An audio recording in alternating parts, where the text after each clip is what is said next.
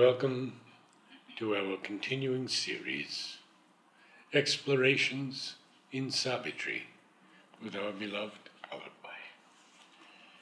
We continue in Book 4, the Book of Birth and Quest, Canto 2, The Growth of the Flame, and we are on page 365, just at the break by the bottom. So, as we are being revealed, different kinds of beings responding to Savitri, to the divinity in her, and we see this in earth that uh, some open to the divine, some respond with resistance, some are even afraid of the divine presence. And uh, I was reading, you know, what Mother has spoken about it. She says, some revolt Yes. and are afraid. Why? Because the divine presence means they have to change. So, you know, everybody likes to live within their limits. So, all are not ready for accepting and acknowledging the divine in life. That's why you see certain philosophies where divine is not there find an easy acceptance in human beings. And one reason is because there is no pressure to change. So that's what I was uh, just sharing in the previous class that while uh, strange, I'm talking of India about uh, universities in India, that Freudian psychology is taught but not Vedantic psychology, which is a strange paradox. Yes. I mean, you teach Freudian psychology, but you also teach Vedantic psychology. Because Vedantic psychology is a cry for change. It's an exploration into portions of being which are hidden. But Freudian psychology is very easy. Man is filth, he is mud, he is uh, an animal. So it's very good. You don't need anything. so uh, we read, you know, all kinds of beings. But since in everybody there is some soul essence, so even when there is a revolt, there is still some kind of a drawing, wonder and revolt. So that's what we read previously, and now we read further. I've seen also in physical education, Yes. your mother put such emphasis on it, and so many people said, No, we want to do meditation. Yes. That's all. Yes. No, no care for the body, no concern for the body. There is another interesting thing that uh, you know eh, it's it's known, well known in all spiritual paths, that there is a difference between being physically near the master and being inwardly close to the divine. it is a well known difference. There is a difference between being or living in an institution and practicing the path. There is a difference between the two. And uh, you know, all this, uh, there is a difference between talking about the path and walking the path. It's well known in all uh, circles, in all spiritual circles. So we have to be careful that we don't uh, take it for granted that just because we are uh, physically have an access to samadhi and because you know we are fortunate to be able to come to ashram and read the books and maybe even talk about it, it automatically translates into uh, inner nearness. It is something which one has to practice. That is the whole path of yoga. I would also like to say that uh, any of you who are in the educational system in India, we see that so many saints, yogis are honored. Very rarely we see Sri Aurobindo having a place Oh, yes, in yes, universities. Of course. Very rarely. And even when it is there, now they have some universities which have a seat on Sri Aurobindo. They reduce it into just, you know, PhD. Now, PhD is, uh, yoga is never learnt in a classroom like that. Yoga is something to be lived. It is always a one to one instruction. Yoga is like that. It's never a. But mid this world, these hearts that answered her call, none could stand up her equal and her mate.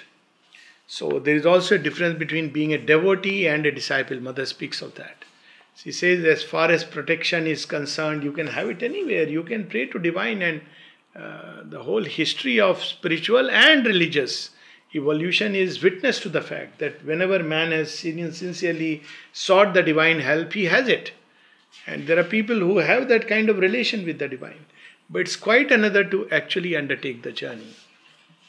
So, this answering to the call means that In vain she stooped to equal them with her heights. Too pure that air was for small souls to breathe. So she is the one who comes close to us.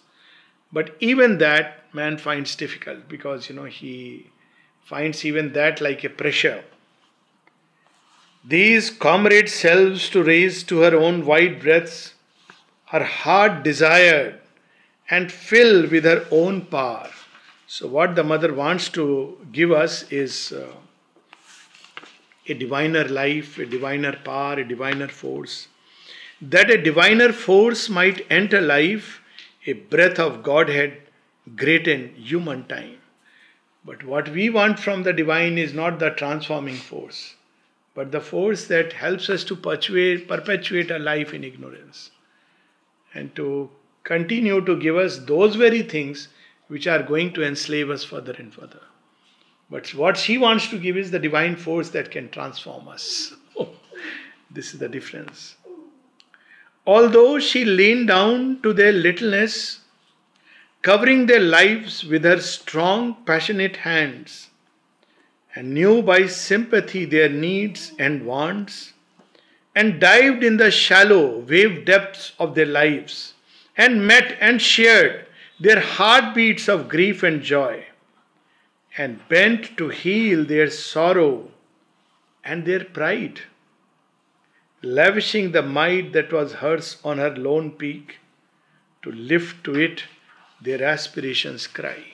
She leaned down. There is a very interesting story, you know, so many stories, so many people have experienced here. Uh, in fact, someone told that, you know, because she came to us with so much of humanness that sometimes we couldn't take that step to see the divine behind the human. So one of the stories is um, when a child who was seven, his father asked the mother, divine mother, that I want to gift a cycle. So mother said, okay, on, on his birthday. So from the mother or through the mother, the cycle goes, father has gifted. Five years pass. Suddenly on 12th birthday of the child, the mother calls him and says, I have something to give you. you. I have given you a cycle five years back. Now you must have outgrown the cycle. And I want to give you this new cycle which will fit into you. Now, this was not told by the father. now, look at the Divine Mother remembering and taking care of these small little things. Um, to what extent she could come. Of course, the child is Vijay we all you know know, and uh, father is Navjatji. I mean, how she could come to, and countless stories uh, people recount. But at the same time, um, there is something we must remember that I'll just read. And though she drew their souls into her vast, and surrounded with the silence of her deeps, and held as the great mother holds her own, only her earthly surface bore their charge and mixed its fire with their mortality, her greater self lived soul, unclaimed within. So we should be very careful of, you know, uh, sometimes idolizing those who were very close to, physically close. I am sharing a very personal experience regarding this.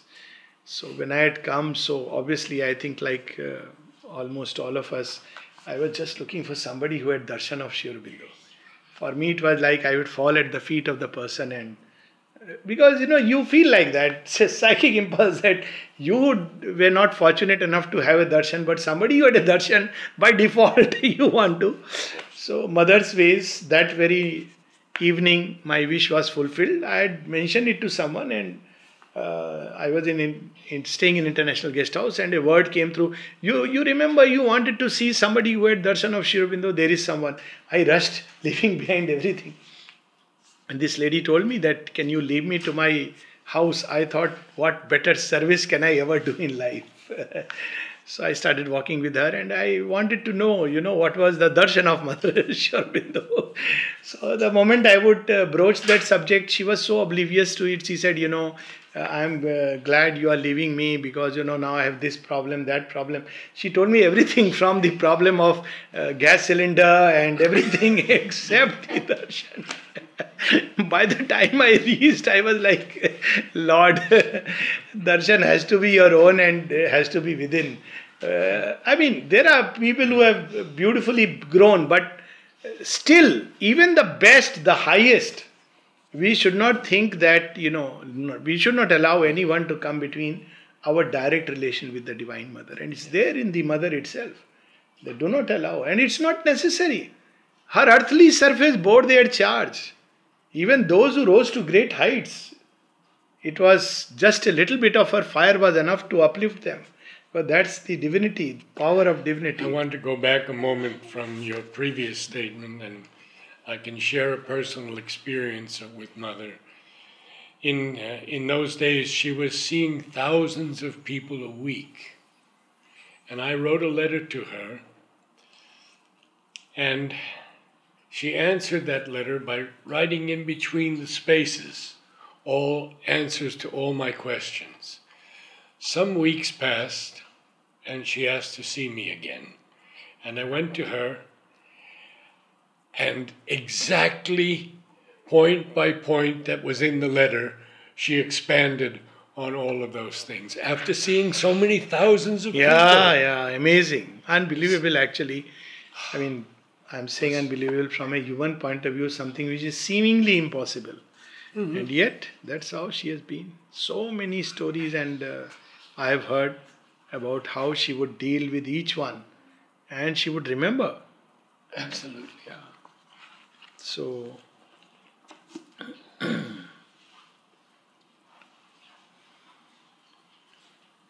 Champak Lalji asked mother, she had this, somebody had this prayer to mother. Mother, uh, may I never forget you.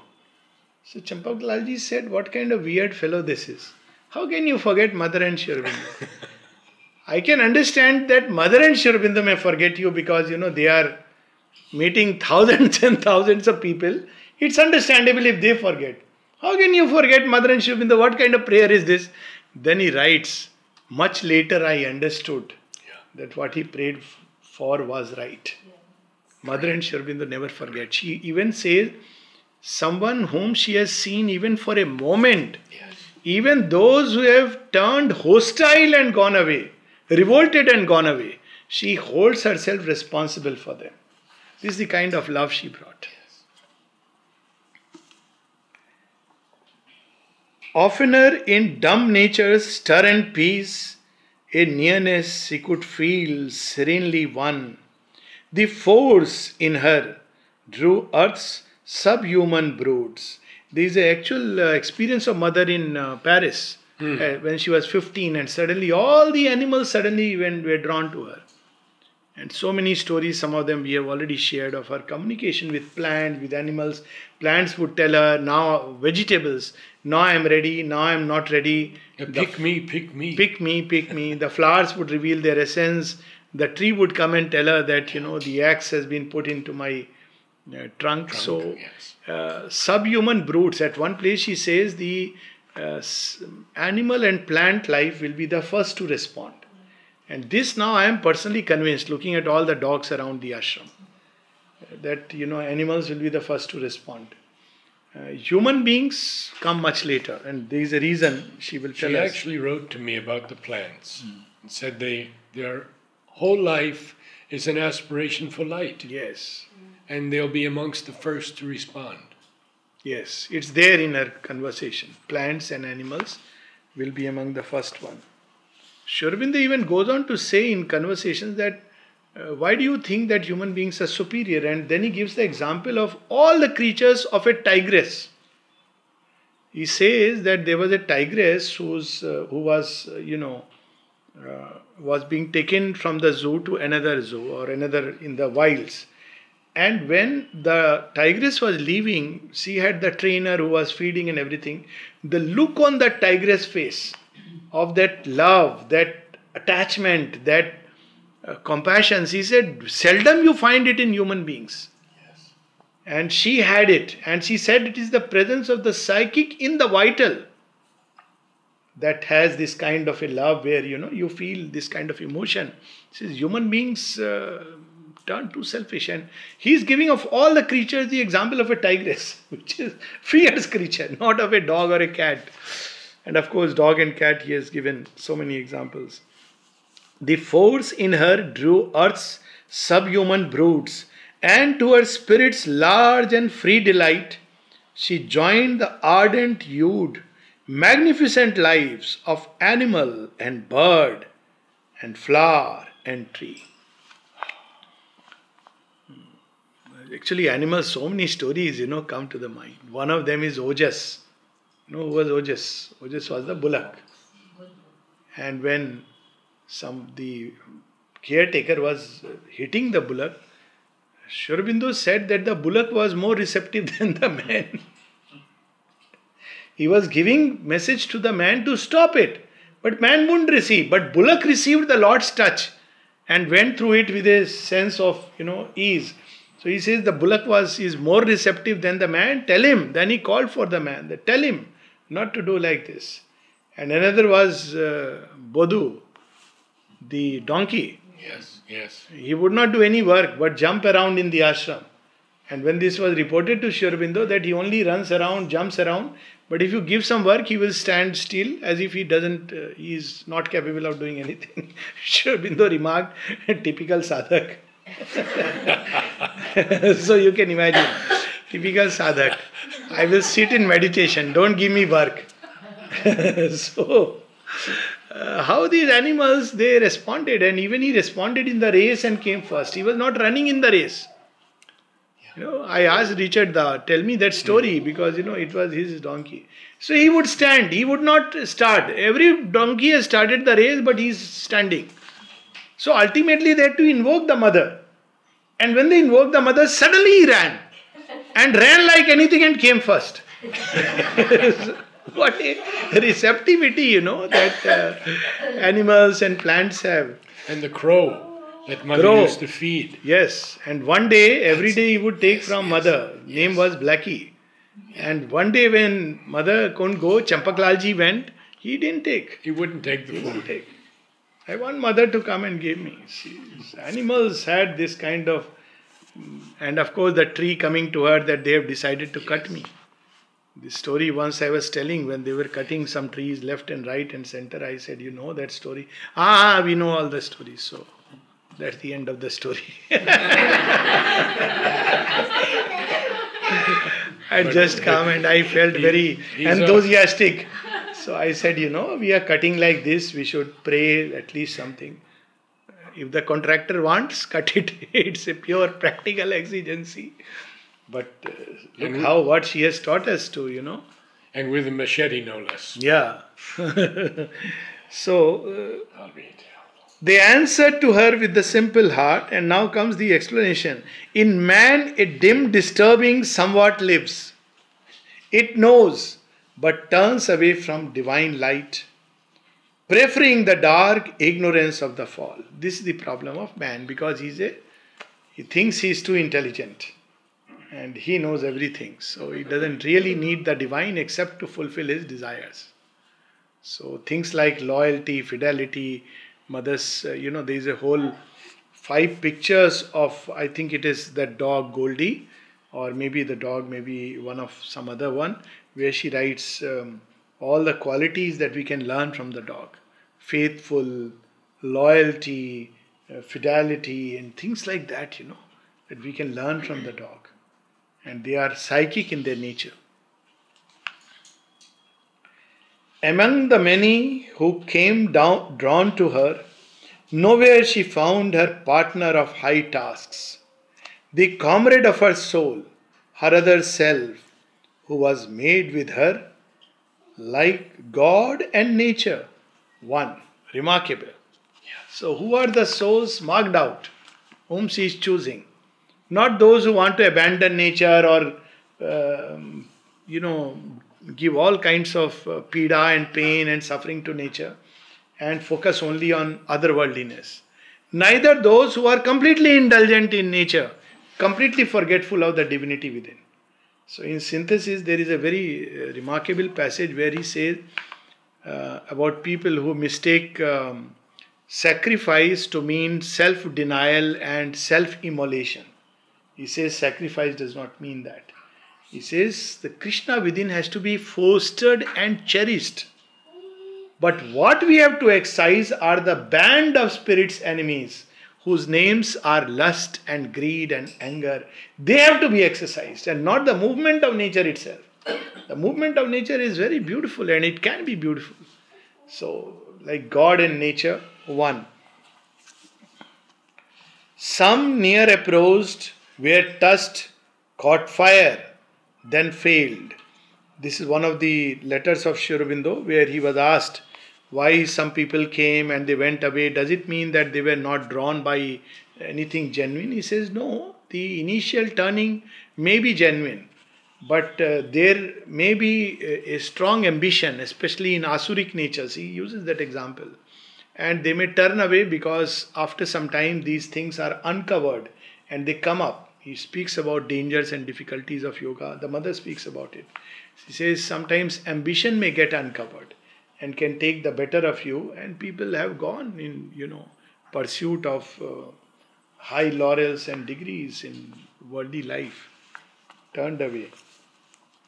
Too great was her demand, too pure her force, thus lighting earth around her like a sun Yet in her inmost sky an orb aloof, a distance severed her from those most close. Puissant, apart her soul as the gods live.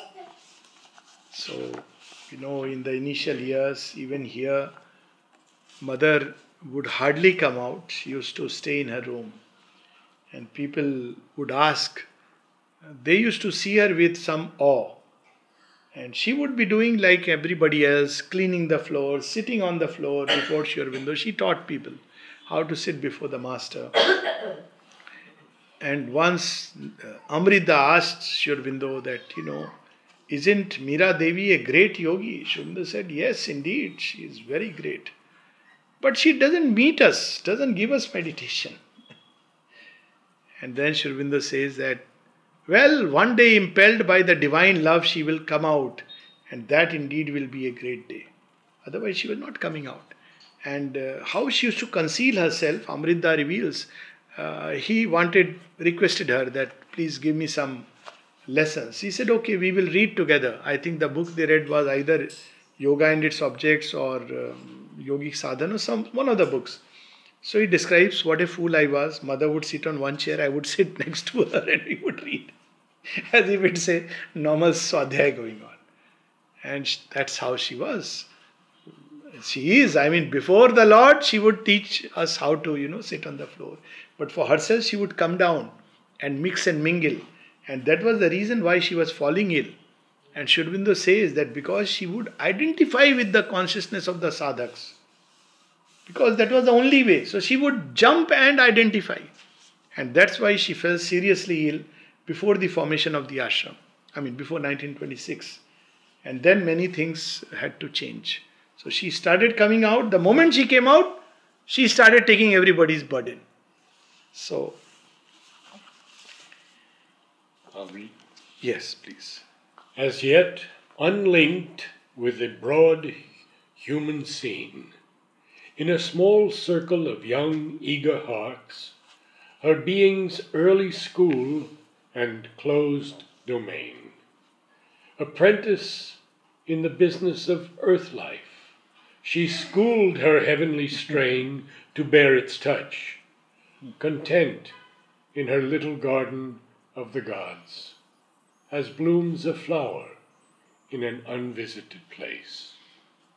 As yet unlinked with the broad human scene, this now growth of the flame when she is in adolescent Nobody knows what is going on. Later on, she describes between the age of 9 and 10, 9 to 11, and in the agenda, she even speaks about even as early as seven years when she would experience these gods, these beings, and she was meeting them in her. This was her personal private life, but nobody knew. As far as schooling, she had no interest. So one day, her brother told her, he was reading something, and mother asked, What are you reading? So he said, I am reading this. So he said, Tell me about it. He said, Why? Why can't you read? So mother took it as a challenge because till then she had not started reading.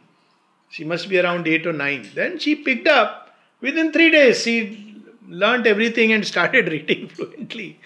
So that's why later on, when people would go to her and you know tell her, "Oh, this child doesn't study, doesn't read," and she would tell the teacher or the parents, "Oh, why are you bothered about it? Leave the child free. Let the child grow in the in its own way." And we have many classic examples like that. Yes. Because more important is the real education which comes from within. See, this classroom education is only a purely mentalized thing.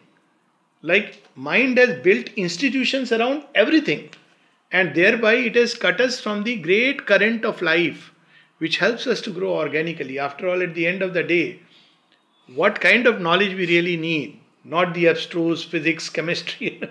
we need something to live and grow. And we don't get that because the real experience of life, the contact, so children grow up, they have degrees, but they don't know how to handle their own feelings. So, you know, uh, she was being schooled in nature that's what and how she learned so many things. Later on she also tells you know how she uh, see how a divine being looks at things. So satprem once asked her again very mentalized way of looking that you know locusts come and they spoil the garden. He talking about human beings who spoil the earth so what should be done he says why are you wanting to do something no but you know they destroy he says who told you you should see how gardens grow in the wild so he says, what does it mean? Then she gives example of a garden which was hidden to sight because of a boundary wall. And one day she opened and went inside. It was uncared for by anyone. And she says that it was so beautiful. It was all in the wild. And I think many of us remember our childhood. I remember, you know, going for getting flowers for puja for my parents and also quietly stealing mangoes and picking them up. And they were not cared for gardens. They just came up randomly. And those paths made made something it was very beautiful. You know you would have a small little path because of human uh, beings passing through. And it has its own joy and charm but human beings will put it into fixed shape and fix this. Because this is how the mind operates but there is a schooling that goes on in nature. If we open the child he will learn those things. So that's how she was schooled. She schooled her heavenly strain to bear its touch, content in her little garden of the gods, as blooms a flower in an unvisited place. Earth nursed, unconscious still, the inhabiting flame. This earth, of course, is the physical body and uh, the material nature. Yet something deeply stirred and dimly knew. There was a movement and a passionate call a rainbow dream, a hope of golden change.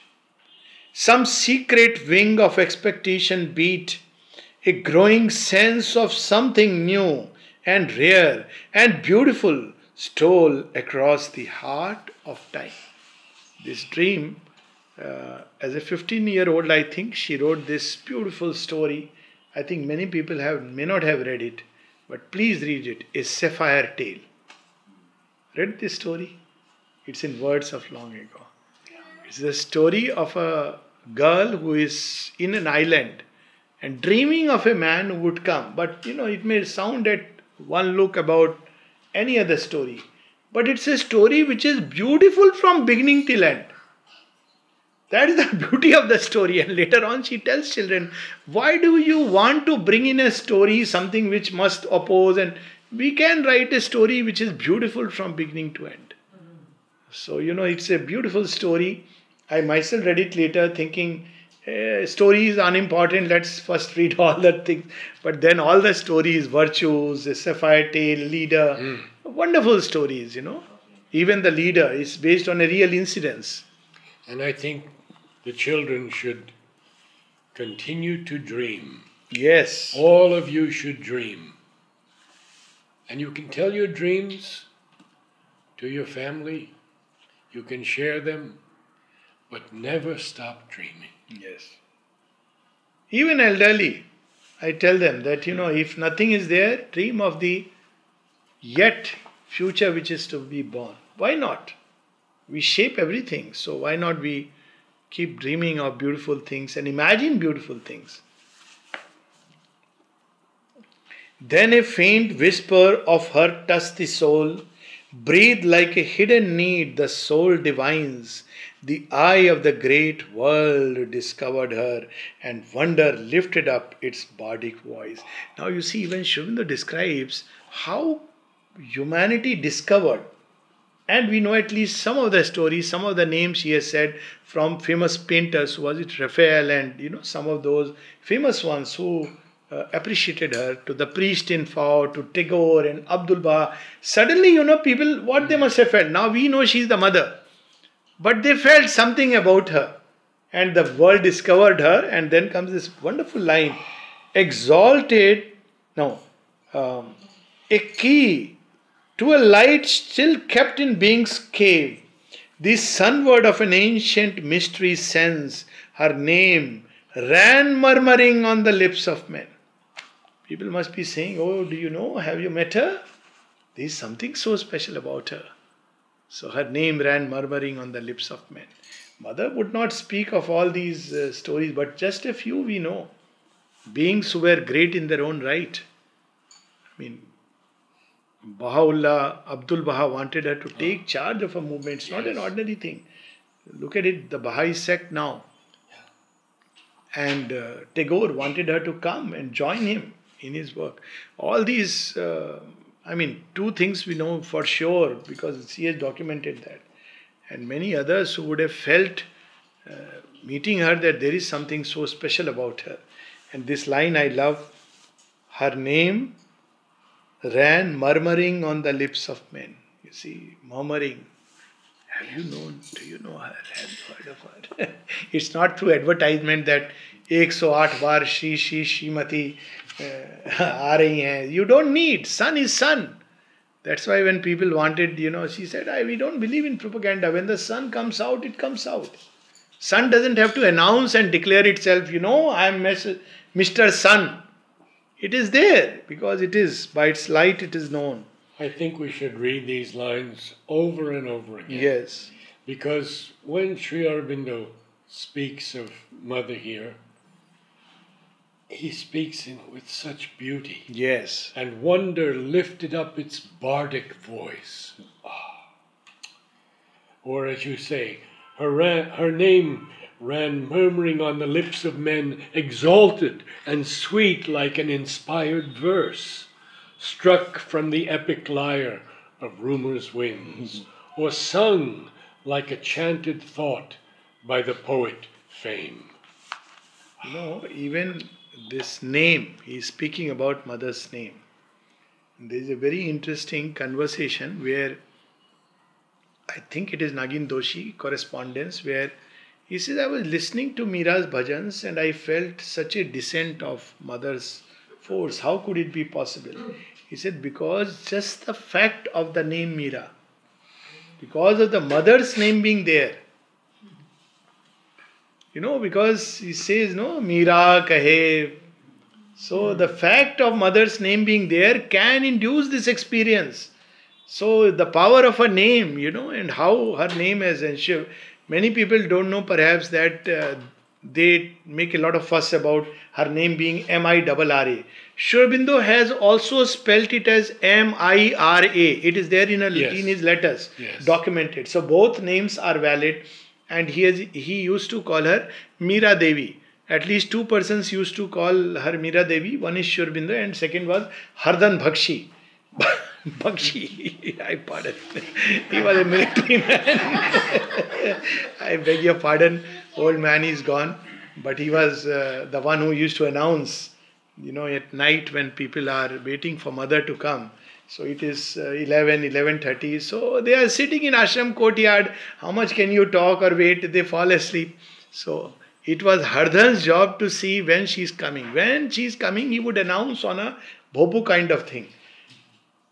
Mother is coming, mother is coming, or Mira Devi is coming, Mira Devi is coming. Now everybody gets up, you know, mother is coming. yes, so many stories uh, about him. Once I spoke with my my guide Arvind Basu, and I told him that I was calling Mother I would mostly say mother, or sometimes ma, and he said, you can also call her Mira. It's very, very important. Any which way. See the power of the name. But like a sacred symbols was that cult. How beautiful. Admired, unsought, intangible to the grasp. See, that's how we deal with divinity. We admire, but we don't seek to be like that. And we don't understand. And that's the tragedy of, you know, earth nature. Her beauty and flaming strength were seen afar like lightning playing with the fallen day, a glory unapproachably divine. No equal heart came close to join her heart. No transient earthly love assailed her calm. No hero passion had the strength to seize. No eyes demanded her replying eyes. Any idea how many disciples were there of Sri Aurobindo till 1950? Was around 200. Can we imagine? We talk about mass movement. It's Aurobindo who doesn't want it. Just about 200. If you look at it, hmm. he could have easily commanded the whole earth, you know, with all that, but he didn't want that. That's why he told Mother. Like a secret symbol was that cult. It was so sacred that there was a time when uh, Mother and Sri photographs had to be put behind under a kind of a curtain. So people who were given the photographs, they were told not to put it publicly in front of everyone. So in their home, supposing there was a disciple but family members were not uh, seekers, so the photograph will be there and the person would put a small little cloth over it. And uh, there are many interesting stories like that because they didn't want till the supramental manifestation. After that, we see Sri Aurobindo Society and Auroville and the whole thing because the work was done, the fundamental work. But before that, they didn't want that, you know, their name should be known and publicized or made popular or, you know, because propaganda, then forces come. No eyes demanded her replying eyes. A power within her or the imperfect flesh, the self protecting genius in our clay, oh. divine the goddess in the woman's shape. So, you know, men who were identified with physical nature, they too felt something they felt, but you know, there is this hardness in the flesh which protects you even against the divine. And draw back from a touch beyond its kind, the earth nature bound in sense life's narrow make. So, though they felt something, human beings who are entrenched in the flesh, yet they couldn't, won't come too near. They would see from afar and admire from afar. Oh, I'll complete. Yes, please. The hearts of men are amorous of clay kin, and bear not spirits lone and high, who bring fire intimations from the deathless plains, too vast for souls not born to mate with heaven. Whoever is too great must lonely live.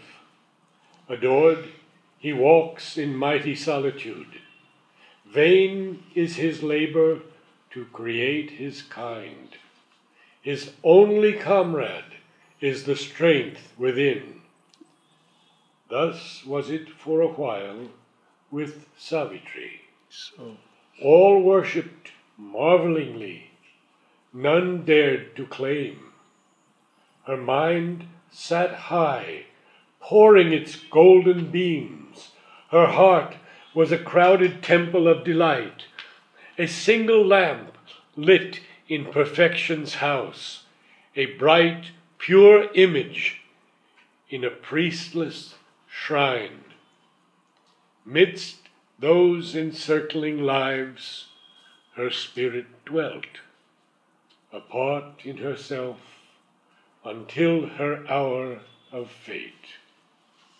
So, this is very beautiful and uh, significant. The hearts of men are amorous of clay kin. So when people approach God, they want the standard stock things, and that is why people find difficult to understand Mother and Sri Aurobindo because they are not saying the standard stock things that get up in the morning, touch your parents' feet, say a prayer or a mantra. None of that. On the contrary, Mother laughs. She says, you know, all the habits are breaking. now, most people find it very difficult. That uh, ascetic things, he says, you know, have no significance from the spiritual point of view. In fact, he says they are dangerous people she says things like people can you, you can practice a discipline like the Hatha Yoga and Raj Yoga, but not even enter the spiritual life. Mm. The former arrives at body control and the sec- later at mind control. Now, when you say such things, they are too high and great for human littleness. So it's very difficult, and you know, we are amorous of clay somebody who can, you know, talk and speak like us, our language and bear not spirits lone and high who bring fire intimations from the deathless plains, too vast for souls, not born to mate with heaven. Whoever is too great must lonely live. Reverse is not true that whoever is living lonely is too great. Besides, this loneliness is an inner loneliness you can be lonely in a crowd. That's precisely what Sri Aurobindo says that one can be in multitudes while being alone because you are in your mind world in all kinds of images. Whereas you can be lonely in a crowd. This loneliness is about that nobody is there who can share with you your life because it is too high, too vast, too profound. Otherwise, outwardly, we see the Divine Mother, she was married, Sri Aurobindo got married. So it's not about the outer life, it's about the inner loneliness where there is nothing which can share the rich and profound existence. I mean, how could Sri Aurobindo reveal what he is going through or the mother, what she is experiencing? And uh, of course, uh, her husband with whom she came, he had a hint that she is Divine Mother. But this became a problem for him because he, he would fight that you make me God because you are Divine Mother. so you can do it, but she won't because she has not come to follow the normal pattern. Whoever is too great must lonely live. Adored, he walks in mighty solitude. Vain is his labor to create his kind. His only comrade is the strength within. So she wants that people should become, you know, close to her. Friendship with the divine. At one place she says, you know, friendship with the divine is a very difficult thing. Because then he will be very unsparing to you. As long as from far devotee seeking some help is okay. But friendship with the divine, if he gives you, he will be thorough, like Arjuna. Shri Krishna gave his friendship to Arjuna, but look what he had to undergo all his life. Thus was it for a while with Savitri. All worshipped marvelingly, none dared to claim. Here, claim is, of course, in the sense to come near her, to share, uh, to be close to her. Her mind sat high, pouring its golden beams. Her heart was a crowded temple of delight a single lamp lit in perfection's house, a bright, pure image in a priestless shrine. Midst those encircling lives, her spirit dwelt, apart in herself, until her hour of fate. So you see, some of these uh, lines have very cryptic sense.